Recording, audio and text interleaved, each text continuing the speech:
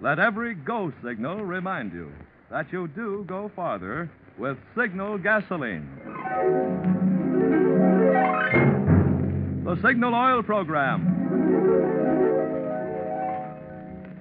Signal Oil brings you another strange tale by the Whistler.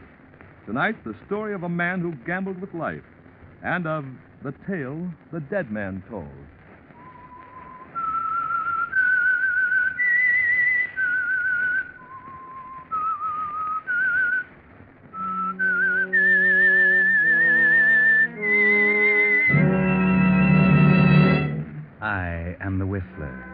And I know many things, for I walk by night. I know many strange tales, many secrets hidden in the hearts of men and women who have stepped into the shadows. Yes, I know the nameless terrors of which they dare not speak.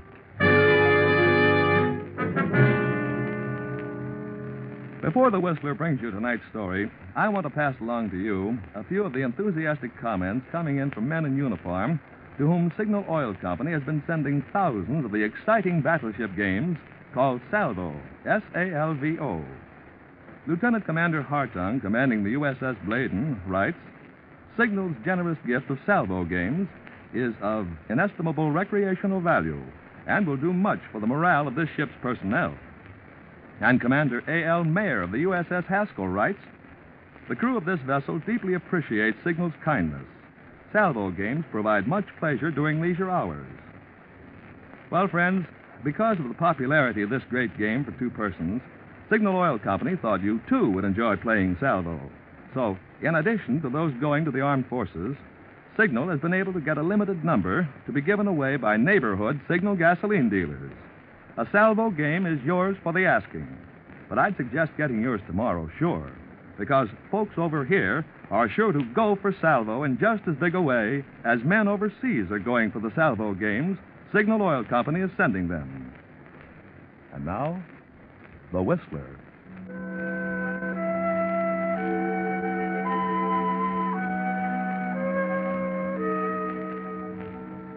A driving rain slants down outside the Golden Pheasant nightclub. It drenches the streets, but it doesn't seem to dampen the gaiety of the crowd inside. Yes, it's a gay crowd, happy and carefree, which just goes to prove once again that all that glitters is not gold. A couple detach themselves, make the short dash from door to curb, and climb into a car. They seem far from carefree. I can't understand it. It's only 11 o'clock. How come you're tired already? Oh, I'm not tired. Just want to go home. Okay, so we're going home. Darling, What? don't be angry with me. Oh, I'm not. How can I be angry with you? Sandra, You're so sweet. So understanding. well, I don't understand this. We were going to have fun tonight, going on to Sammy's place after the Golden Pheasant, make a night of it. You were going to. Those were your plans. Well? Those weren't my plans. And you know, sweetheart, that we always do what I want to do. Is that so? Mm-hmm. You know, sweetheart, that I can make you do anything I want to. Can't I? Is that so? Well. Yeah, I guess you can. You little minx. That's better. so I take you home. When we could be having a good time. But what I want to know is why. All right, I'll tell you. Because I'm afraid of Arthur. I'm afraid he might get home ahead of us. Look, baby, I told you your husband is at the office. I left him there myself at six o'clock. He said he'd probably be there all night, or most of it, going over the books. This is inventory time. Very convenient, huh? Yes. Very convenient for us. By the way, Bert, didn't you say you wanted to stop at the office on the way home? Yeah, I'm going to Richmond tomorrow morning. I might as well pick up my papers and things tonight. Thanks for reminding me. What would I do without you? Oh, you've gotten along pretty well. But I'm not going to get along forever without you. Sandra, when are you going to quit Arthur? When are you going to make the break? Oh, let's not worry about that just yet. Maybe something will happen to make things easier. But this has been going on now for months. I'm not going to wait forever. You'll wait, darling. Just be patient. How can you be so calm? Oh, about here's the office, dear. Turn in. Oh, okay, okay. Sandra, you're a wonderful woman. A remarkable woman.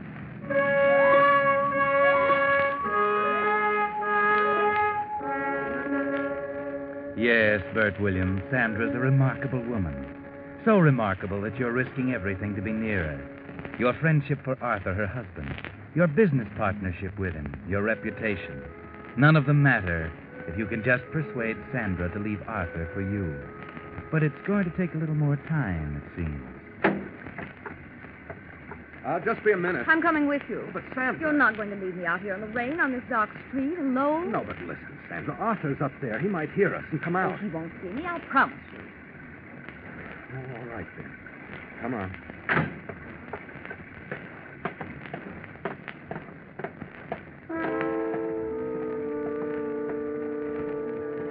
He might as well find out now as later anyway, mightn't he, Bert?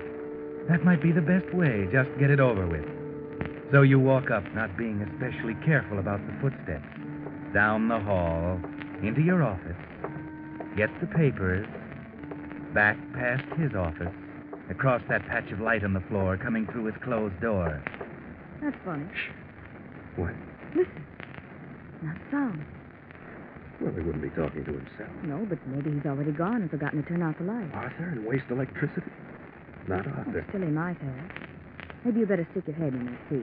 I'll stand back out of sight. He'll never know. But You might as well. Besides, you think it was funny you didn't stop and say goodnight. Yeah, I suppose so. Okay, just a minute. Hi there, you old workhorse. What are you up to?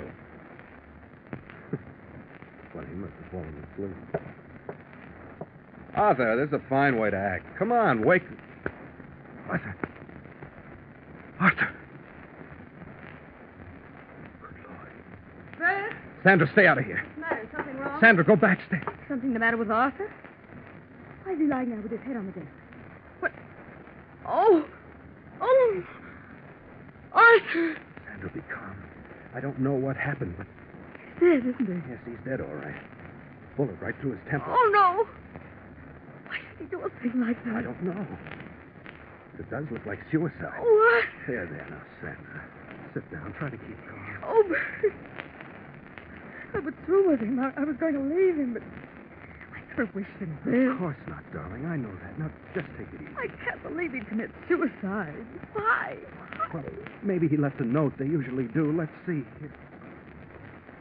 There is something on the desk. Here. Here, look. It's addressed to me. You. Yeah.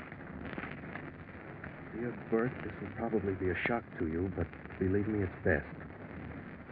Business is bad, but that's only part of it. You'll be able to carry on with me out of the way. Just one thing, look after Sandra for me, will you? Goodbye, Arthur. Oh, Arthur. How could he do such a thing? I can't tell from this whether he knew or not. What does this mean? You'll be able to carry on with me out of the way. I don't know unless. Of course, he meant the insurance. Insurance? Yes. Didn't you two have some kind of partnership insurance? Yes, that's right, of course. We took it out when we first started in business. If one of us died, the other got a $100,000. Yes, that's what he meant. Business was bad, but if he died, you'd get a hundred thousand to help with the business. Only Sandra. what a fool.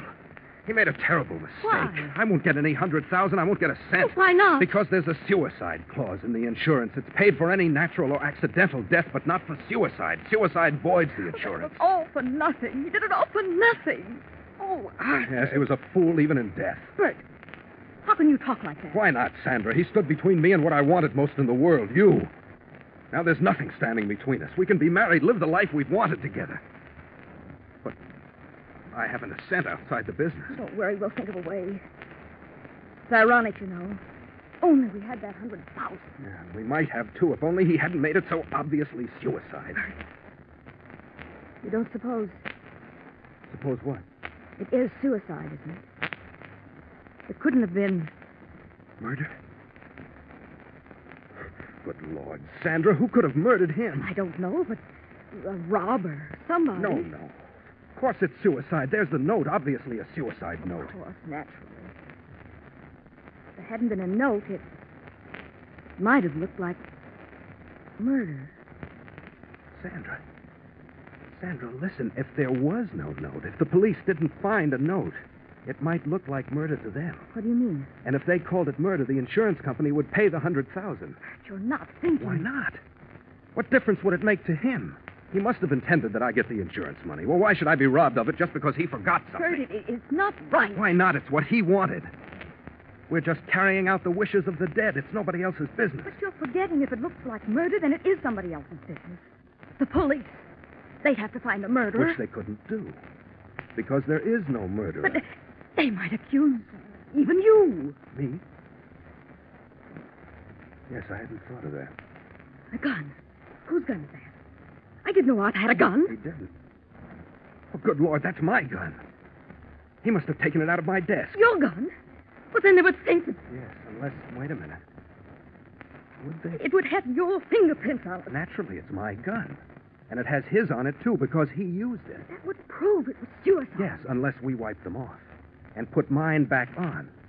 The murderer would wipe his off anyway, but it would be natural for mine to be there. Yes, that's right, of course. But they still might say you killed him for the insurance. They might say that, but. Look, Sandra, I have a perfect alibi. I was with you. We've been at the Golden Pheasant all evening since 7.30. Plenty of people saw us there. Now, wait a minute, please. Think a minute more. I wouldn't want anything to happen to you now. Darling, don't worry. It's simple. They couldn't possibly convict me, even if they did decide I did it. Now, don't worry. Everything's going to be all right. Just wipe the prints off with my scarf. Then grip the gun there. Wipe it again, but not too well, so some of my prints will be left on. Now I drop it carelessly on the floor.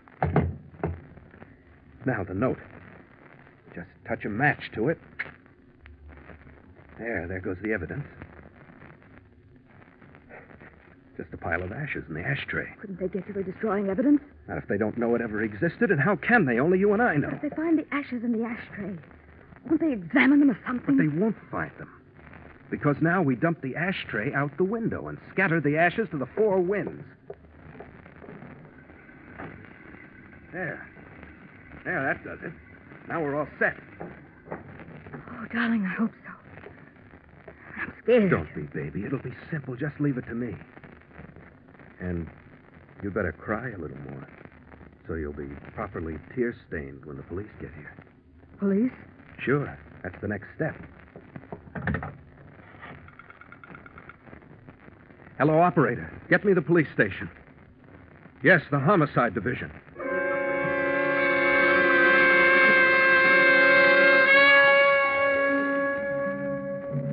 Well, Bert, you're skating on thin ice, don't you think?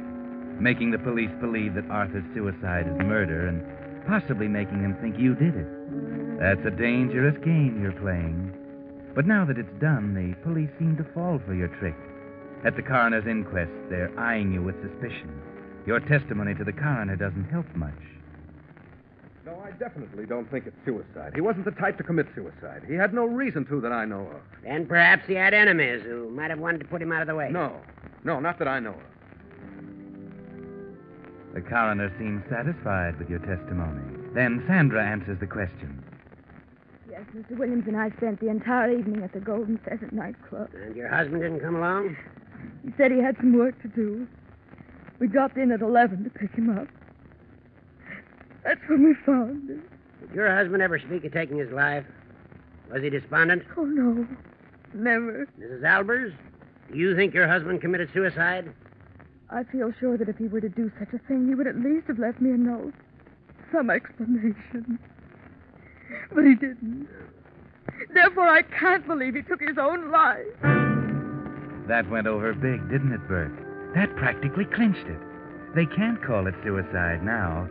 Sandra convinced them. But just to add another link, there's the police officer to add his testimony. The bullet entered the right temple on a 250 degree angle. That is, slightly from the rear and moving forward. Powder burns on the skin indicated that the gun was not held directly to the head, but several inches from it, perhaps three or four. In your estimation, Captain, could it have been possible for the dead man to have fired the fatal shot himself? Well, yes, possible, but it would have been an awkward position. If he had shot himself, it would seem more logical for him to have placed the muzzle directly against his temple. No. And in your opinion, the gun was probably fired by someone else. Someone who came up from behind him, perhaps. Well, that'd only be an opinion. Hmm. It might not have been. It, it could have been either. Well, Bert, there's a break for you. A break you hadn't counted on. Arthur was very obliging. You can see him right now, deciding to hold the gun away from his head. No doubt he wanted to avoid unnecessary unpleasantness. He was so fastidious. Well, offer up a few thanks, Bert, because that did it. The coroner's jury has reached its verdict. The jury finds the deceased, Arthur Albers, met death at the hands of a person or persons unknown.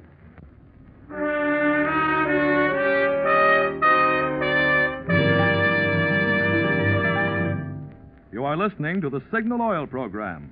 Let every go signal remind you that you do go farther with Signal gasoline.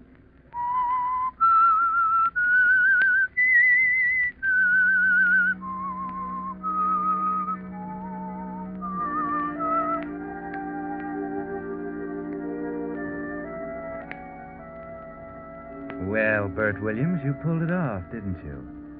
The coroner's jury called it murder by person or persons unknown. Oh, there'll be an investigation, but you're not worried about that. You'll be able to prove that you didn't do it. But now you've fixed it so that you can get that $100,000. Go ahead. Go on down to the insurance company and collect it. Yes, naturally, Mr. Williams, you want the insurance benefit. It's rather customary to give us a little time to investigate a case like this, in which there seems to be some question of doubt. But I need the money right away. The business, you see. Yes, yes, of course, of course. I understand that. But you see, in case it were later proved that Mr. Albers' death was by suicide, then we'd not be able to pay it. I know that, but the coroner's jury has already said that it was murder. Unless I'm very much mistaken, that makes it legal. Yes. Unless we could prove otherwise. You mean you'll investigate further on your own? Yes, yes, of course. We're required to do so. But you're also required to pay me, since it's officially called murder, at least until you prove otherwise. Yes? Then I'll take that chance. And pay you back if I'm wrong and it is suicide. There's only one thing about that, Mr. Williams. By taking the money now, I warn you, you might be laying yourself open to suspicion of fraud in case it turned out to be suicide. Fraud. Yeah, oh, now please don't misunderstand or don't. I'm not accusing you of anything. I only warn you that the courts might view your action as suspicious. I'm suggesting that it might be better to wait, let the decision be final before you collect your benefit. I'll take the chance. I want the money now. Very well, Mr. Williams. As you wish.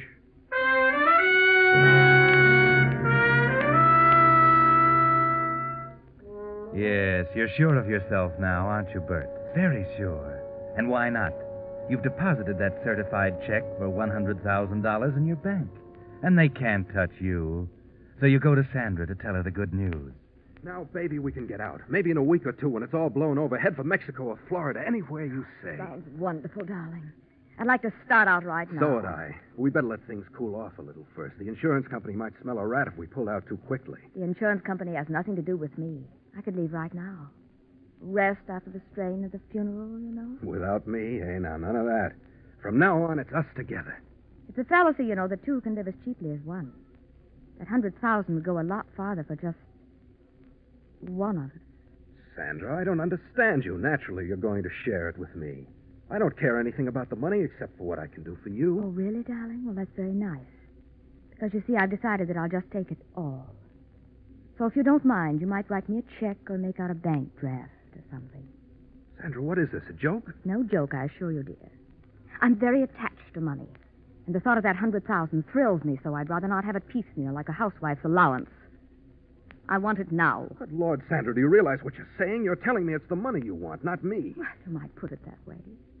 Are you trying to tell me that all this time I've meant no more to you than that? Oh, it's been fun, darling. Fun. Sandra, you can't mean that. I'm afraid I do, Bert, so there's not much need for any further talk. Just transfer the hundred thousand to my account tomorrow morning, and we'll call everything even. Even. What fantastic notion makes you think I'd give you the money now? It's far from fantastic. I have a notion you wouldn't like for me to tell the insurance company and the police that you perpetrated a fraud. That Arthur really did commit suicide. And you destroyed the evidence. You wouldn't dare tell them. They wouldn't believe you in the first place. How could you prove it? With a little slip of paper I have. Just a note. A note from Arthur. It came registered mail the day after he died. You might call it a suicide note. No. Yes. Isn't it logical that he'd write one to his wife as well as to his business partner? I never thought of that. No, darling, you didn't, did you? But it turned out very nicely for me. Now, when you transfer the money to my account and bring me the bank book, I'll do you a favor. I'll burn this little note like you burned the other one. Okay. You win, Sandra.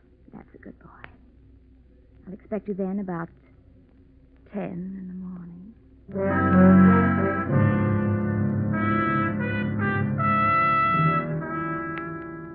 Well, Bert, that's what you might call poetic justice. Well, uh, poetic anyway. You really got taken, didn't you? But there's nothing to be done about it. She has you on a spot. And so you'll have to go down, transfer that hundred thousand to her account, and bring her the deposit slip. You watch her burn the note and destroy the ashes, and now you're even. Thanks, darling. Someday, Sandra, you'll pay for this. Someday you'll get what you deserve. Perhaps, who knows? But in the meantime, I'll be so comfortable. Thanks to you. Yes, she rubbed it in, didn't she, Bert? And you go back to your apartment smarting under her words. But you don't have too much time to think about it, Bert, because there's a man from the DA's office waiting for you when you get there. And he takes you downtown to talk to the boss. Just a couple of questions I want to ask you, Mr. Williams. Just to clear up a few points. All right, anything I can do. First, a minor point. Did either you or Mrs. Albers smoke while you were in Albers' office before the police arrived? No. No, I'm sure we didn't. Mm-hmm. All right. Now, uh, you say you were with Mrs. Albers all evening. Yes, we went to the Golden Pheasant nightclub for dinner and dancing. What time did you arrive there? Well, rather early, about 7.30, I'd say. And uh, where were you before that? Well, I was at the office till about 6. Then I went to my apartment to dress, I suppose. I can't really remember. Mrs. Albers was not with you then? No, I I picked her up about 7.15. Why? Well, you see, Mr. Williams, the autopsy proves that Albers was killed between 6 and 7. Oh, I thought... You thought what? I thought it was probably later, that's all. Is that so? No, it was definitely between 6 and 7, or just a short time after you say you left the office. And you were not with Mrs. Albers until 7.30. An hour later. Why, no, I, I was at the apartment, but well, I'm sure I can prove that. The elevator boy would have seen me. And the maid, I have a maid. She testified that I was there. Mr. Williams, I'm not questioning where you were. You're not under suspicion for Albers' death. I'm not? No, of course not. You never were. You see, from the very beginning, we had a pretty clear line on the real murderer. What do you mean? The ashtray was the first clue. You see, it was a little strange that a man working late at night hadn't piled up an ashtray full of cigarette butts. The ashtray had been used, but there were no butts left in it. It hadn't been dumped into the wastebasket, so we got a little suspicious. We found that it had been dumped out the window. Out the window? Yes. And among the cigarette butts that we found was one especially that interested us. It was smudged with lipstick. This naturally led us to think of a woman. A woman? Not one. No, no, not one of the office employees, because we found that the janitress had cleaned that ashtray about six. After all but Mr. Albers had left for the day. And you told us that Mrs. Albers didn't smoke when you two came in later that night. Yes, that's right. hmm That meant that there was a woman there about the time Albers died. So we began looking around, and we got the main clue from the dead man's lips. From the. Yes. You might almost say he told us. You see, on his lip was a smudge of lipstick.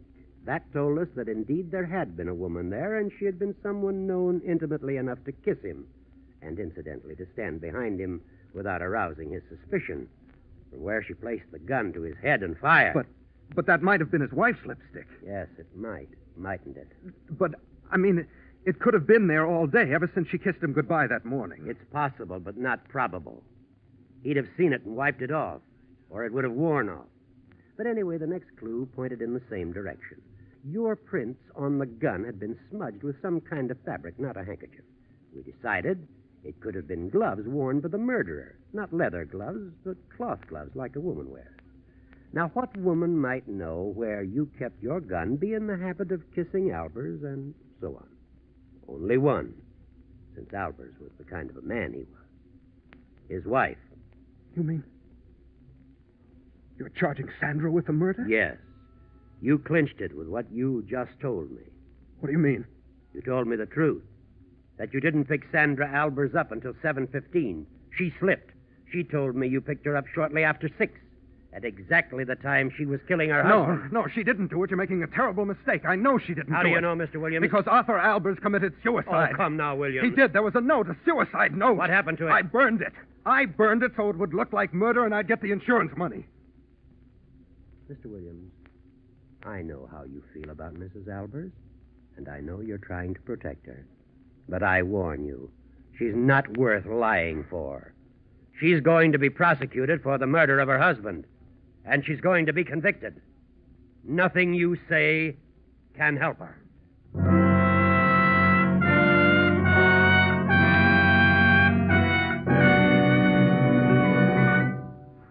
The Whistler will revise this strange ending of this tale in just a moment. Meanwhile, I'd like to tell you about Roy Jacobson, for 13 years a signal gasoline dealer in Berkeley, California. What with repairing tires, relining brakes, replacing mufflers, and other jobs to keep aging cars on the road, Jacobson is a busy man. While I was waiting for him, a customer who had just had his brakes relined commented, I've been having my car serviced at Jacobson's signal station for 13 years, and I have yet to hear a customer squawk. I know I can depend on his work because he's so conscientious. Conscientious. That word, friends, characterizes the kind of service you'll find in signal gasoline stations from Canada to Mexico. And the reason for their conscientious, thorough service is that every signal dealer is in business for himself. Most of them for many years, like Roy Jacobson. Naturally, they want to serve you so well, you'll be their permanent customer. Well, with Uncle Sam predicting that one car in every 12 will go off the road this year, such service can be mighty important. That's why so many drivers these days are switching to those friendly signal gasoline dealers who make a permanent business of helping cars go farther. And now, back to the Whistler.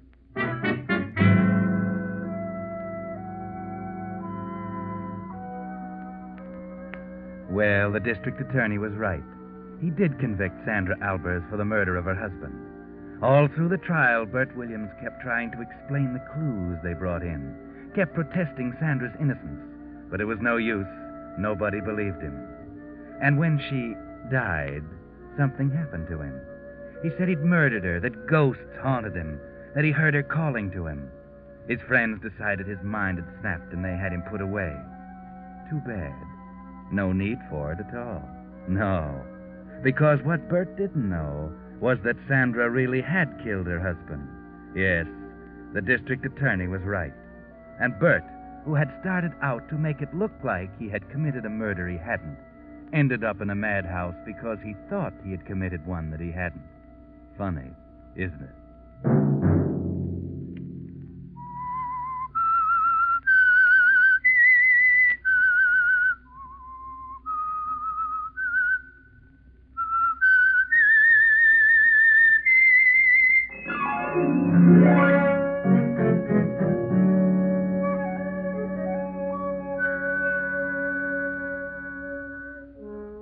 Monday at 9 o'clock, the Signal Oil program will bring you another strange tale by the Whistler. The Signal Oil program is broadcast for your entertainment by the Signal Oil Company, marketers of Signal's famous Go Farther gasoline and motor oil, and by your neighborhood Signal Oil dealer, who is at your service daily to keep your car running for the duration. The Signal Oil program, produced and directed by George W. Allen, with story by John Dunkel and music by Wilbur Hatch, is transmitted to our troops overseas by the Armed Forces Radio Service. Bill Pennell speaking for your friend, the Signal Oil Company, and suggesting once again that you let every go signal remind you that you do go farther with Signal gasoline.